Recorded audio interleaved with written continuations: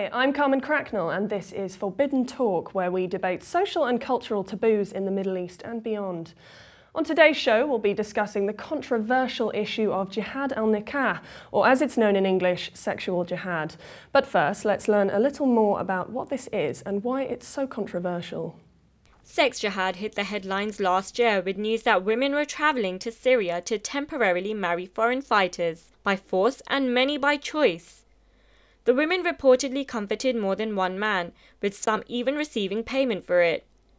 Women came from various countries, many relatively liberal, such as Tunisia, and even from here in the UK. Added controversy came from the fact that many of the girls were reportedly underage and forced into the role by older male relatives.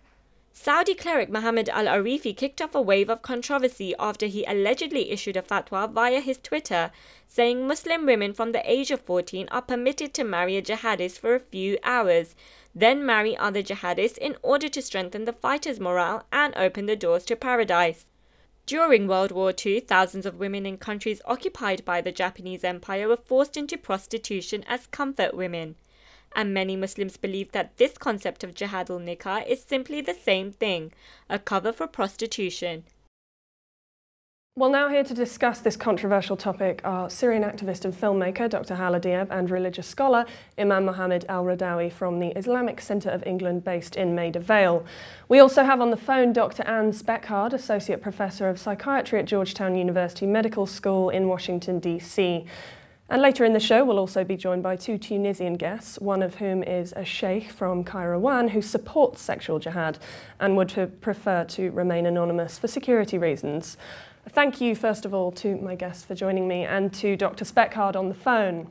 Uh, so my first question uh, will be to Hala, and I want to ask you, as a Syrian woman who knows maybe what's going on right now in Syria and the situation, how prevalent is the issue of sexual jihad actually? I think this is a phenomenon which was resulted from the sectarian conflict war that is happening in Syria, uh, because you know Syria as, as a nation and Syrian people were Islam in a moderate way and we didn't have encountered such a phenomena and women have a such um, uh, priority and empowerment in Syria before the war. But this is a result of actually the jihad tourism that is uh, empowered by the regional powers and regional countries uh, that actually uh, made many uh, young fighters, whether from Europe or Britain or even from neighboring countries, to go and fight in the name of Islam. Mm. And, uh, and, and this is actually becoming an increasing um, worry, not only for, for, for Syria, but also for the neighboring country, even for the international community, because many women are going to Syria to offer themselves as comfort women to the fighters. And actually, um, there was an article featured in the um, Fair Observer by uh, Egyptian campaigner Iman Bibars, who said that the Muslim Brotherhood and several Arab newspapers had claimed that the fatwas condoning such acts were issued by well-known religious leaders, including Yusuf al-Qaradawi of the Azhar Mosque, and she also wrote that sit-ins at Rabaa Adawiya and Nahda Square in Egypt had welcomed and promoted this practice. Um, how, to you, Imam al-Radawi, this question, how could these people justify jihad al-nikah religiously? Uh, how could they justify? I mean, it's, if you look at the teachings of uh, Holy Quran, uh, we don't find uh, any reference to this. Uh, I don't know how uh, they have invented this.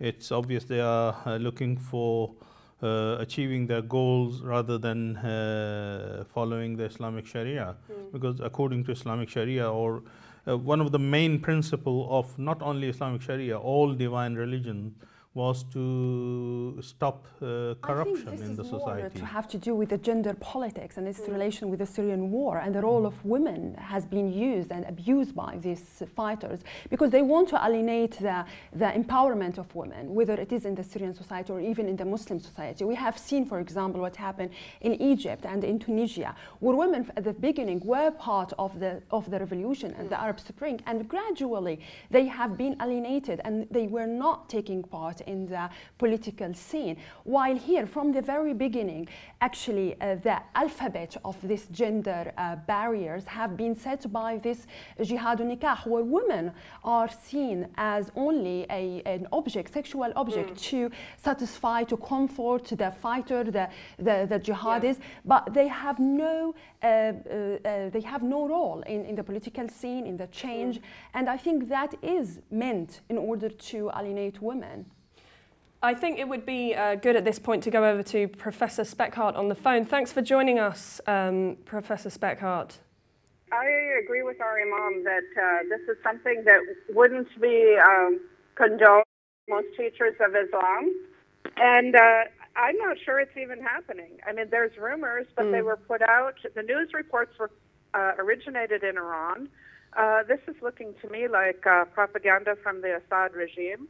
And when human rights organizations went out and looked for the actual women, they couldn't find them. Mm. So many people in the West believe these reports, but uh, the evidence isn't there. So if we're talking about uh, serial, uh, quote, marriage, basically prostitution, I don't think it's happening. You mentioned in some of your research on cultural and organisational aspects of terrorism, you, you, talked in a similar vein to what Hala was saying that this was a way of, um, you know, bringing women into the political spectrum or um, excluding them. Which, which do you think it is, if it is occurring or if things similar to this are occurring? Well, I can tell you from my uh, 400 interviews of terrorists that I report in my book, Talking to Terrorists, that women very rarely play a leadership role in terrorist organizations. And uh, they're sometimes sent as suicide bombers, but oftentimes not until the men can't cross the barriers anymore. Then they start to use women because they can hide uh, bombs in their clothing and they're not searched as thoroughly. Women also work as couriers uh, but they mm. very rarely have leadership roles. So that's nothing new.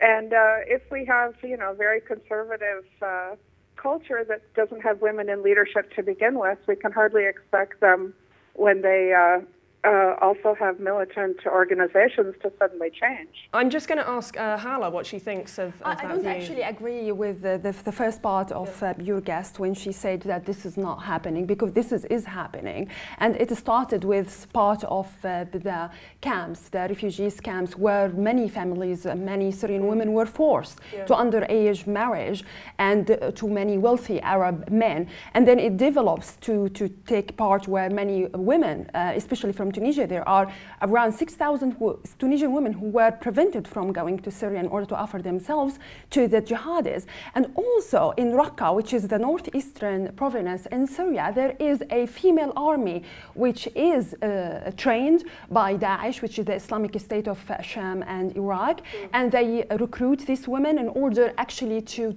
suppress other women in, in this Islamic State, which is under uh, the control of uh, this terrorist uh, extreme group. And they actually, these women offer themselves to the jihadis.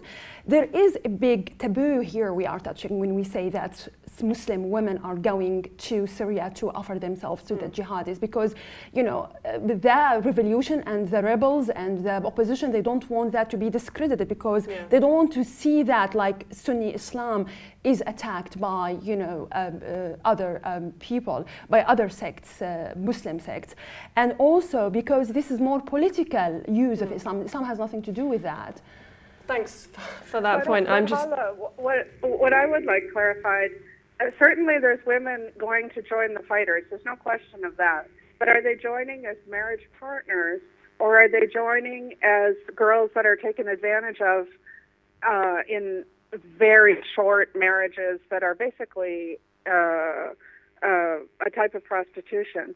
And if you're saying it's the latter, I would love to hear your evidence. And I'm not saying that you don't know. You might have a much better uh, feel for what's going on on the ground, but I haven't found the evidence.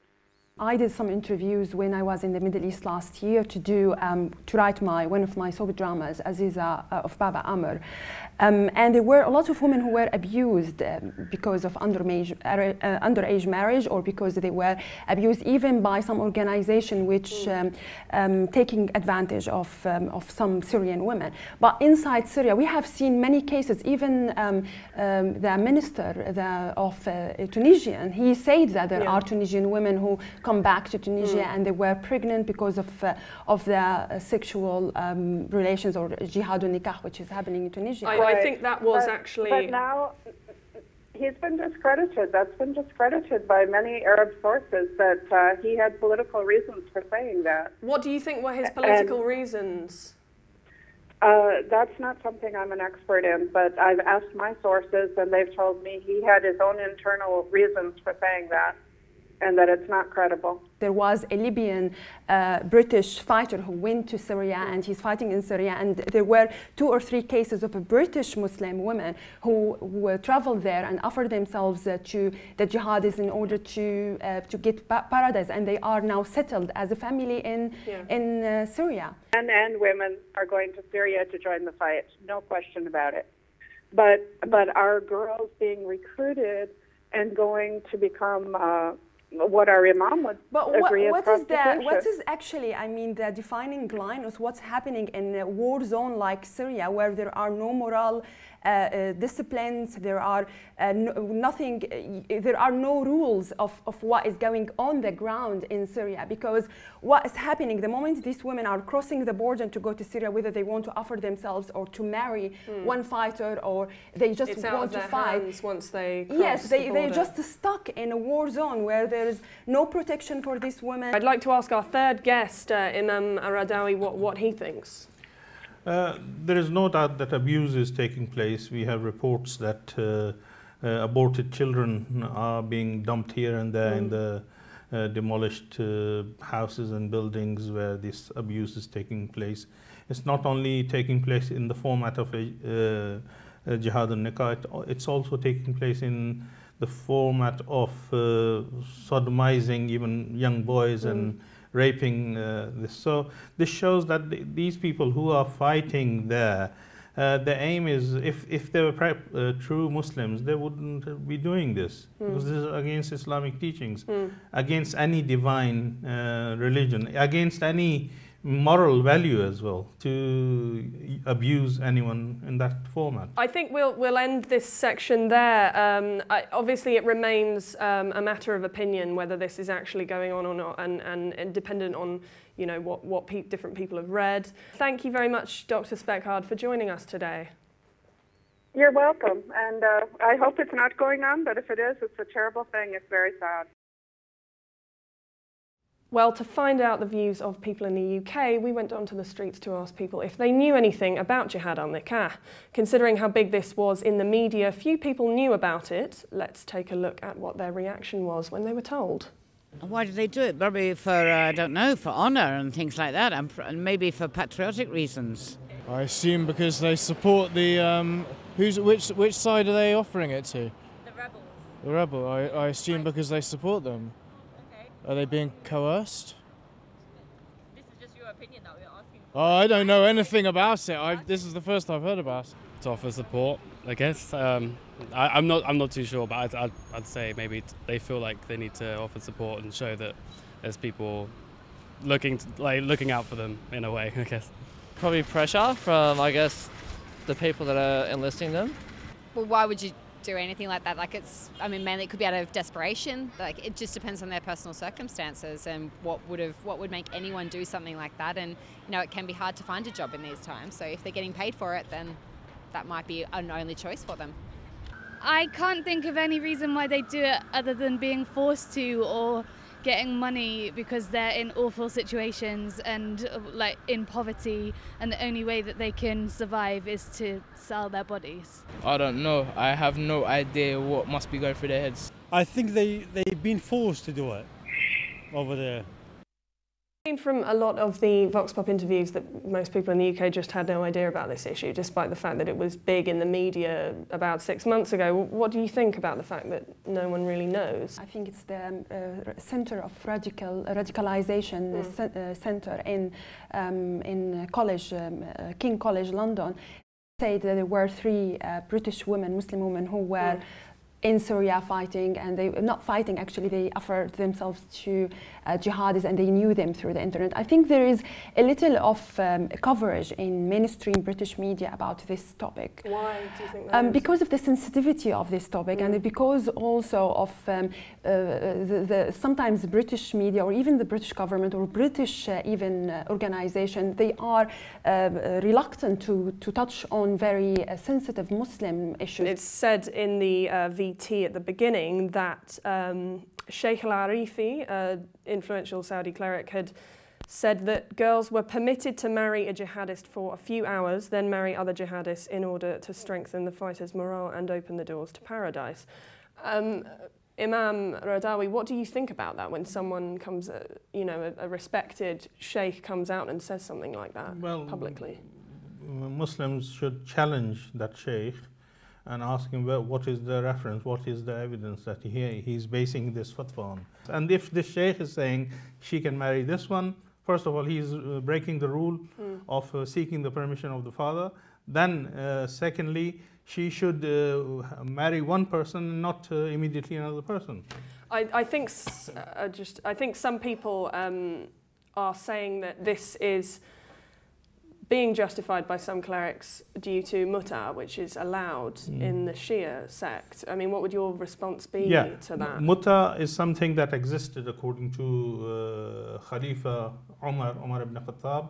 He has admitted that it existed during Prophet Muhammad's time. And again, mm. again if you look at the rulings there, it has the same rules apply there. You cannot do muta with a young girl who has never married, and uh, she should have the consent of her father and then muta marriage is done and muta marriage also needs waiting period. Mm. Waiting period is two menses periods and she cannot be available immediately to another person. It is wrong and against Islamic Sharia in any, according to any school of thought in Islam. I think there is a big responsibility um, um, on, on uh, the shoulder of the Muslim mm. scholars because when you speak about Islam or religion, unfortunately, people don't take that into account unless you are a Muslim mm. scholars, you know, or imams. And yet uh, the moderate, or who call themselves moderate and liberal imams, they shy away from condemning such uh, horrifying fatwas which legalize jihad or legalize When Al-Arifi came to London, there were reports that he was physically attacked by Muslims I mean, Al-Arifi, uh, I actually tried to uh, interview him through um, Channel 4 when he was in London and he actually, he just left without uh, yeah. Um, I think there was some kind of altercation and, and he actually took down his statement shortly after putting it up. Yeah, he, he so denies he denies what he yeah, said. But on this issue, I mean, how can clerics challenge these kind of? You, you might call him a rogue cleric, maybe, for you know coming out with these these very controversial statements. How can religious figures like yourself challenge him? Yeah, well, in Islam, we are taught not to accept anything that we are is told uh, is said to us. We have to investigate. We have to. There is a verse, there are verses of Holy Quran, there are traditions that mm. if a person comes with uh, some information or news or ruling, you have to investigate. You, you have to also look under what circumstances did this ruling come through, or whether if the ruling was uh, uh, changed later on or not.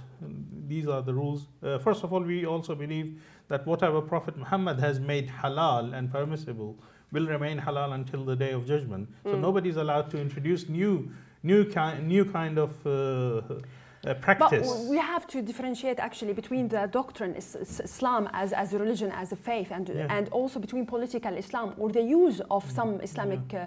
uh, uh, discourse to suit the political agenda. And some of uh, Muslim scholars these days are not actually standing for Islam. They are actually mm. Uh, standing for the political agenda of the political power or the countries yeah. that sponsor them. And that's what we need to investigate. What well, is the agenda behind this kind of uh, fatwas? What do you think the, the political agenda of Arifi could have been? I mean, I, I haven't had the chance to actually ask him to make sure that, you know, mm. he because he denied, he appeared on many Lebanese channel and he denied what he said. Mm. But yet, Al-Arifi himself was part of the Muslim scholars who went to Egypt in July 2000, June 2013, before Morsi stepped, down, before Morsi um, left uh, uh, the, the regime, and they actually called for jihad to mm. Syria from Egypt. Mm. So I think that he was one of the leading scholars who legalizes jihad, and yet he, you know, he or other scholars, they they do not base that on the fact they will send their daughters or their sons yeah. or even themselves to go and fight instead of really sending young people to fight. Mm. It's a very big responsibility because you're basically taking the life and death of sure. people. Sure. Well, we've hand. actually got on the phone now uh, Sheikh Khamis, who is um, in Tunisia and actually supports uh, jihad al nikah. My question for you is, in your opinion, is there any basis in Islam for jihad al nikah, either in the Quran, the Sunnah, or the Hadith?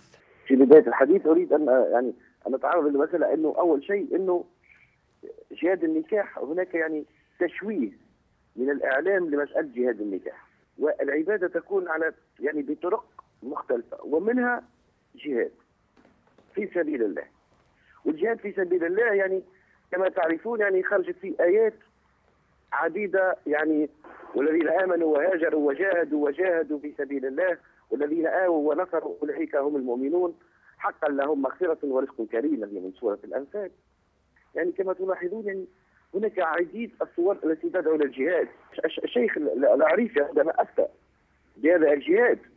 يعني أفتى بهذا الجهاد. آه يعني يعني هذا عالم دين. إنسان يعني شيخ مرجع بالنسبة لنا. يعني الفتاوي التي تعرض على الجهاد وكذا هي مستمدة من القرآن ونحن مرجعيتنا هي القرآن. مش إنه نفسه آه، جسده كل روحه في سبيل الله. I'm going to now ask the opinions of our guests in the studio, um, assuming that you, you understood some of that, um, Imam Aradawi. What is your response? Yeah, he, he's quoting the verse of Holy Quran that uh, says that when uh, religion comes under threat, uh, you have to sacrifice. Mm. But there is not a single uh, um, word about jihad and nikah. Mm. Uh, jihad bil anfus is there. Anfus means sacrifice. Of course, in the battlefields, what do we do? Yeah we sacrifice our life. I don't think that he was any way convincing apart from the, the part where he said he's quoting what a scholar, um, mm. Al-Arifi said. So mm. he is actually relying mm. on other fatwa. So what they call themselves Muslim scholars, they're using Quran to take women back in time to even before the time of Islam, in mm. the name of Islam. And they relying on ignorance of some Muslims or some uh, people who do not actually read Quran and understand Islam as a religion. And, uh, you know, I think this is just a propaganda to legalize what, uh, what they, these people stand for. Sheikh Khamis, what, what do you, what's your response? في الإجابة على سؤاله يعني عندما يقول يعني لا يوجد جهاد بالأنفس يعني في سورة التوبة الرسول يعني يقول لك يعني الله يقول لكن الرسول والذين آمنوا معه جادوا بأموالهم وأنفسهم. Yeah, أنفس أنفس is not body it's not body. Anfus is not sex. It's not. It's not body. It's not like uh, jahidu in with with using uh, your body in order to do the jihad. This is this is not from the Quran. This is what you think. This is your interpretation. نفس نية نفس جسد وجسم وبالنسبة وبالتالي فهي يعني كل شيء في سبيل الله نجم نقدموه ثم إحنا اليوم الهدف الأساسي من هذا الكل هو الجهاد، هناك الرجال يذهبون للجهاد في الحرب واستعمال السلاح وكذا. بالنسبة للنساء تريد أن تشارك في الجهاد، ما هي الوسيلة التي تعتمدها؟ if if for يعني the sake of argument we يمكن أن تقدم خدمات على الساحه يعني في ساحه القتال يمكن أن تقدم خدمات أيضا لنصرة اخوتها الذين يقاتلون معها. Um, Imam Radawi would like to reply to you. Yeah, uh, if for the sake of argument we accept that yes, uh, the verse of Holy Quran is saying to present your body Uh, but it, it is not explaining that presenting body in the sexual manner. Mm. And uh, presenting the body there, it means to sacrifice your life. Is that the root of, of how this has happened? Is Yeah, of this how is- jihad al nikah has been interpreted from Misinterpreted. anfus, anfuskum taking your yourself. People have interpreted that Yes. in, in the sexual way. And I think, uh, I mean, uh, also the gender politics of how they use Quran now. They said go to Syria and fight, and then you know support uh, the change. But when the change happened, like what's happened in, in Egypt or what happened in Tunisia or any Arab country or Libya, they will now start even religion to exclude women. So actually, it's a playing card. They use Islam as playing card to uh, to include or exclude women, to use women actually, and the- and Yeah. and and this is they they don't give value to women. Allah and Islam and the Prophet Muhammad and the Sahaba the, or Ahlul Bayt they, they always value women. And we, we saw uh, leading female uh, ca- uh, women in, in Islamic uh, uh, history. But now what what is what's happening now is actually abuse of women in the name of Islam. And, and that leads to my next question for you, Sheikh Khamis. Um, there have been many reports about uh, rape and sexual abuse in Syria against Syrian women. Uh, will this not will this not put them under more risk and, and of sexual abuse and, and uh, basically giving f- free range and, and allowing sexual abuse to take place? لا بالنسبه لمساله سوريا الاغتصابات هذه اللي يعني ي- يثيرها الاعلام وهذه الإشاعات بالنسبة لي. هذا هذا النظام النظام السوري يقوم بعملية الاغتصاب للمواطنات السوريات. أما بالنسبة للنساء التي تذهب اللواتي يذهبن إلى سوريا للجهاد لا يعتبر اغتصاب لأن بمحض إرادتها ذهب? يعني على المجاهدين يعني هذا هو ال- بالنسبة للنظام السوري قام بأبشع الافعال في And ال- also there were atrocities. شعبه. There were atrocities done by the rebels themselves, and uh, even uh, like we know there are uh, things uh, uh, that the Islamist groups in Syria also they committed atrocities against uh, Shia or even Alawite women and even Christian uh, women and even women in Syria. And what is happening in Raqqa, northeast Syria, where women are not allowed to sit on a chair. But I want to go back to, to his argument where he is actually what's happening in Syria. It's uh, legalizing, as you say, Yeah, the sexual right. abuse or rape in the name of Islam. Because we have seen uh, two cases of Syrian girls who are 16 and they were obliged and forced by their family to practice this uh, بال- jihad بال- النكاح. بالنسبه لي هناك ديما انا انا انا اعمل بمنطق الفعل ورده الفعل هناك اعمال بشعه من النظام السوري التي لم تتو... يعني لم تكن هذه الاعمال البشعه الان يعني امتدت على سنوات عديده قبل ان تقوم الثوره المباركه Yeah, but I mean, will, will you accept يعني your wife or your daughter or your يعني Uh, that does bring me to my next question, actually, Sheikh Khamis. Would you um, encourage any woman in your family or close to you to undertake uh, jihad al nikah, given that you obviously support it? يعني ال- ال- الإجابة متاعي وهي بسيطة جدا الإنسان في علاقته بالله هي علاقة شخصية ما معنى يعني لو أحد من عائلتي أراد أن يش- ي- يذهب ليسافر ليمارس جهاد النكاح هي حرية شخصية Would you, would you allow your wife to do jihad يعني?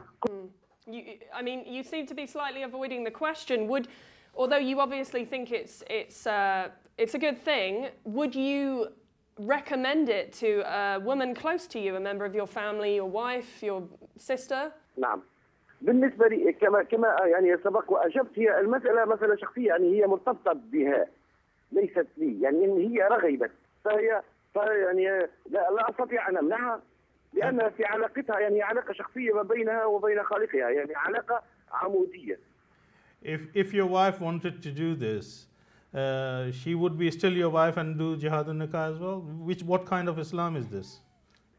كتبت لها يعني شهادة ف- فذلك جيد إذا يعني بالطبع تبقى زوجتي لأننا بالنسبة لنا إحنا لدينا ديما يعني إرضاء الله هو أهم من أي شيء.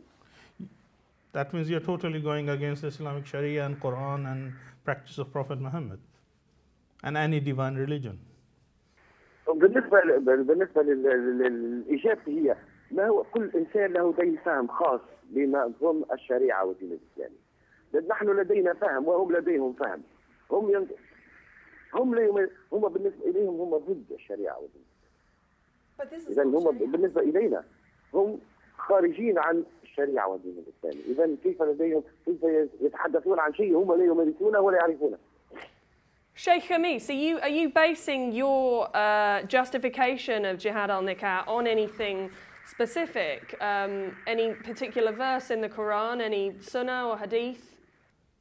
بالطبع يعني يعني كما سبق وذكرت قلت هناك تدعو للجهاد مثلا والذين آمنوا وهاجروا. يعني هناك الهجرة. وجاهدوا. وجاهدوا في سبيل الله. والذين آووا ونصروا. أولئك هم المؤمنون. يعني هناك عند في سورة الأنفال. يعني كما تلاحظين هناك أو كما يلاحظ ضيفك الذي يجب أن يراجع عديد المعلومات لديه. كما تلاحظون هناك جهاد. الجهاد يمكن أن يكون بطرق مختلفه لدينا طرق محل طرق حلال مو طرق حرام النصرة النصرة يمكن أن تكون بطرق مختلفة وهم أولئك هم المؤمنون I, okay, just to interrupt you for a minute, um, there was an interesting uh, article in the Tunis Times uh, titled "Jihad Nikah: 100 Pregnant Women with, age, with, with, with AIDS," which brought up some of the legal and moral aspects of this. Um, what civil status would be given to women and their babies who return from performing jihad al nikah? What would be the consequences of this? Who, who, who would be their father? لأن هذا مرض الإيدز هذا مرض لدى الغربيين أكثر منه لدى العرب ليس لدينا لم أسمع به معلومات خاطئة لأن لديهم يعني لفقوا للجهاديين ولفقوا للجيش الحر عديد التهم Well, um, thanks for joining us, Sheikh Khamis, and of course, everyone on the show is entitled to their own opinion. Thank you for giving yours. To get a more global perspective on what people thought of jihad al nikah, we asked people in Tunisia what they thought.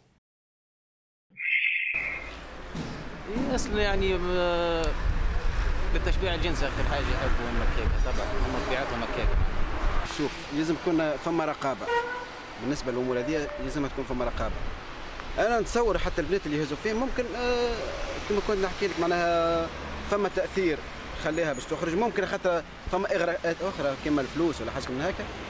بقينا اللي باش تمشي تخرج هي تعمل جهاد كما هكا. نجم هي تجاهد لنا تمشي تلوج على خدمة تخدم باش نجم تصرف على دارها تصرف على روحها. من غير ما تمشي معناتها تقدر باش تخرج تمشي لسوريا كما هكا. ونزيدوا نشوهوا صورتنا كيكو سواء توانسة ولا ك معناها البلدان الإسلامية بصفة عامة. اي ماهوش الدين نتاعنا ماهوش لا دين لا إسلام لا حتى شيء. عمره ما كان إسلام هذا هذا خاطينا. شنو جهاد النكاح؟ هاي يكتب عليها صداق اليوم. ومن غدوة يطلقها صافا كاكا هذا كيما لا صاير في اليمن ولا صاير في في مصر نتاع المتعة هذا زواج المتعة. يكتب يكتب هذا وبعد يرجع. من بعد السنة حاجة نقولوا هكا في سبيل الله. وعلى خاطر بيسك اللي باغ اكزومبل الرجال يمشيو يجاهدوا كل شيء يحبوا يعني يكونوا هما كأداة تسلية ولا كحاجة باش بوغ باسي لو طون أنا شفت بنات صحيح مشاو لسوريا مشاو رايحين رجال يعني هذه حقها شرعي حقها شرعي حقها شرعي وفي حد ذاتها بس تنال مرضات الله هو عايز حاجة يعني بالنسبة للمسلم هو باش يموت شهيد اش بيه الحق إحنا نشوفوا مثلا هناك الناس الأغلبية نتاعهم الأغلبية نتاعهم يعني قلت كان عيشة خايبه وفي حد ذاته ما انت في الشارع. ومن بعد يحدث شيء المشكلة هي مراه أنا مثلا ما نقبلش إنه إنسان مشى تاجر بالجسد نتاعو تحت أي مسمى من المسميات وبعد يقول لي إجا نولي ان نعيش أنا وياك ونتشارك أنا وياك تحت نفس السقف ونربيو صغار ونربيو أسرة ونعملوا هذا لا يستقيم Joining us now on the phone, also from Tunisia, is Khaled Knani, a professor of English at Sousse University. Thank you very much for being with us today, Professor Knani. Pleased to be with you on this uh, studio and uh, about this debate. Thank you. My first question for you is um, I think many people view Tunisia, Tunisia as relatively moderate um, in the Muslim world. Why are women coming from Tunisia to Syria to take part in jihad al nikah? So first of all, this uh, the news that came from Syria about Tunisian girls carrying out sexual jihad has created a real outcry in Tunisia here. Yeah. Because Uh, we are all aware this has nothing to do with uh, Islam, and there is not a single Quranic verse or hadith justifying such practices. It's uh, again an example of how religion is politically uh, used, instrumentalized.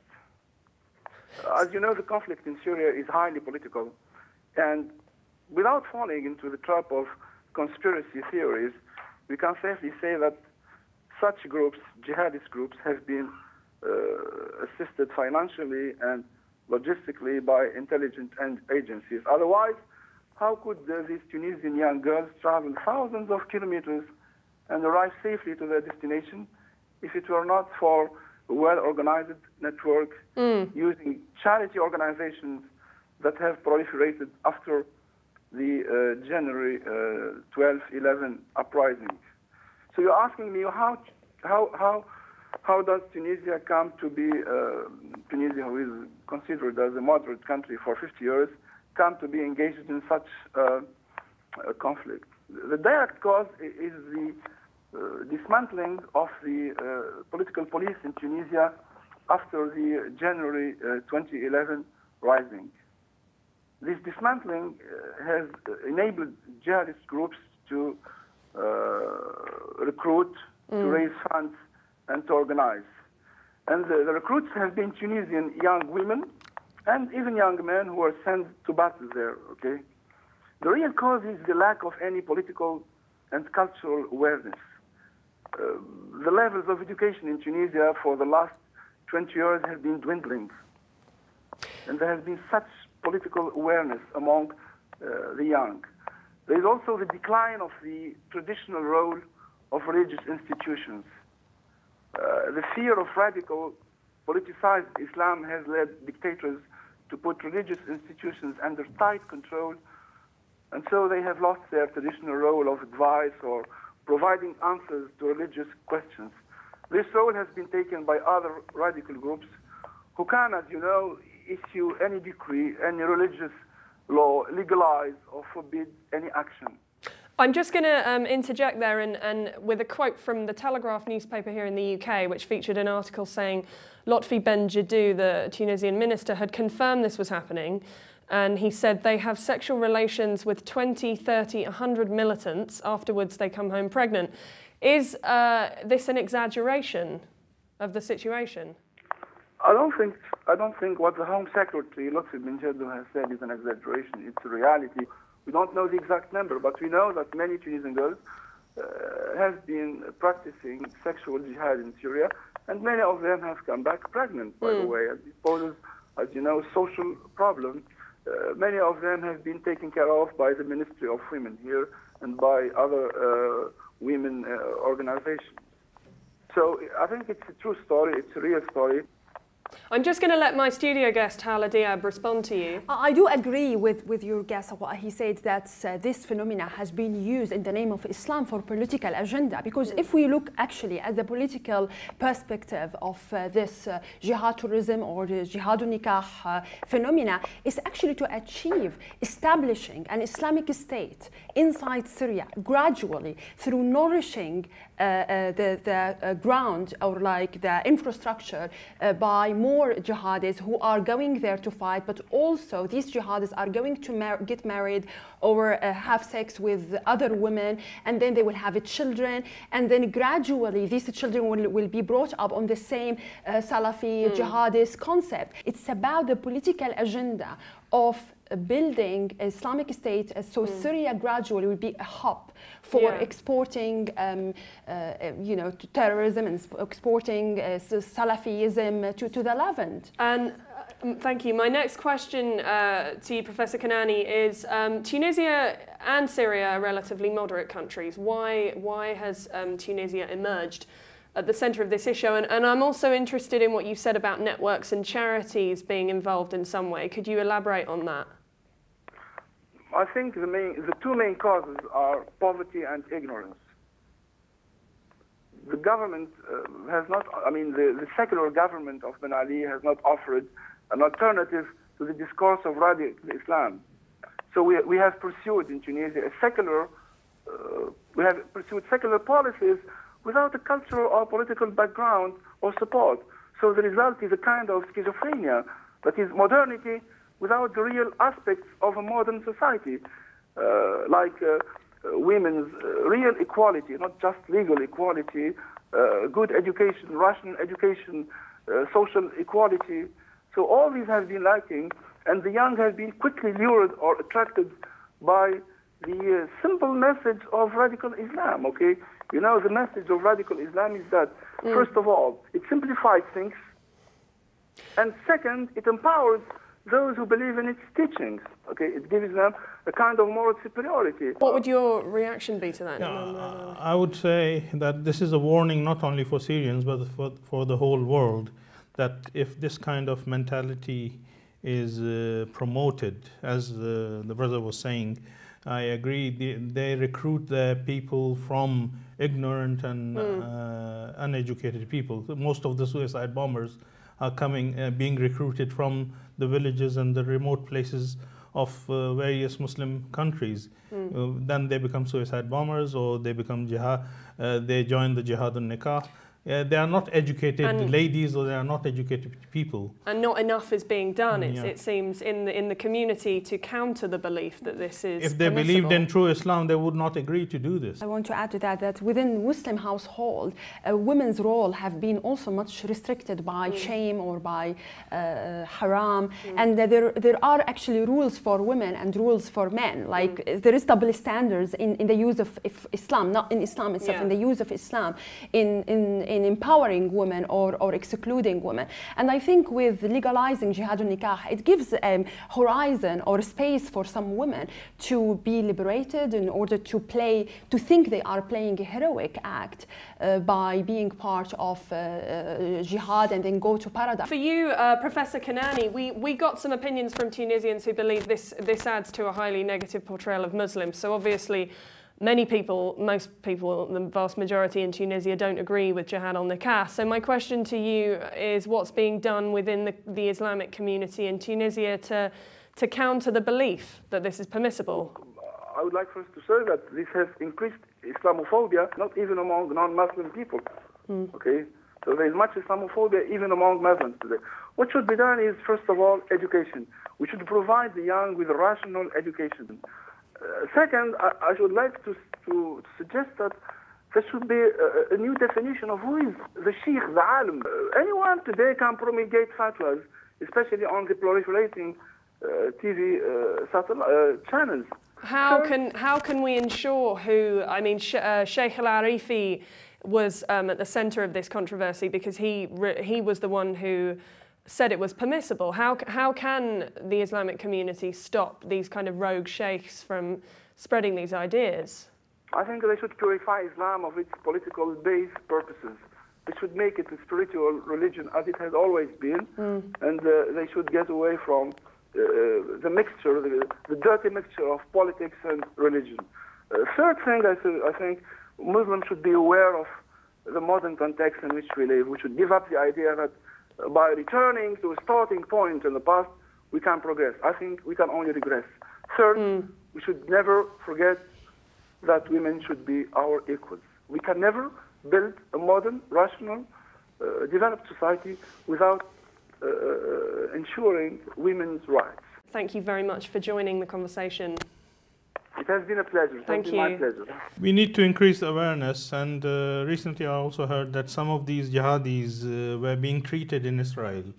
So this shows that uh, there is uh, mm. there are people behind uh, treated uh, yeah, medically. Medical when okay. they get injured, they are taken yeah. to Israel and they are being treated there. It's it's not in the interest of Muslims, mm. any Muslim, to have this kind of fights there. And God help Syrians if these kind of people take over the regime and start ruling the country. God help the women there in mm. future. So Syrians should wake up and uh, not uh, get rid of these outside fighters from Syria and uh, decide, make their own decision about their future.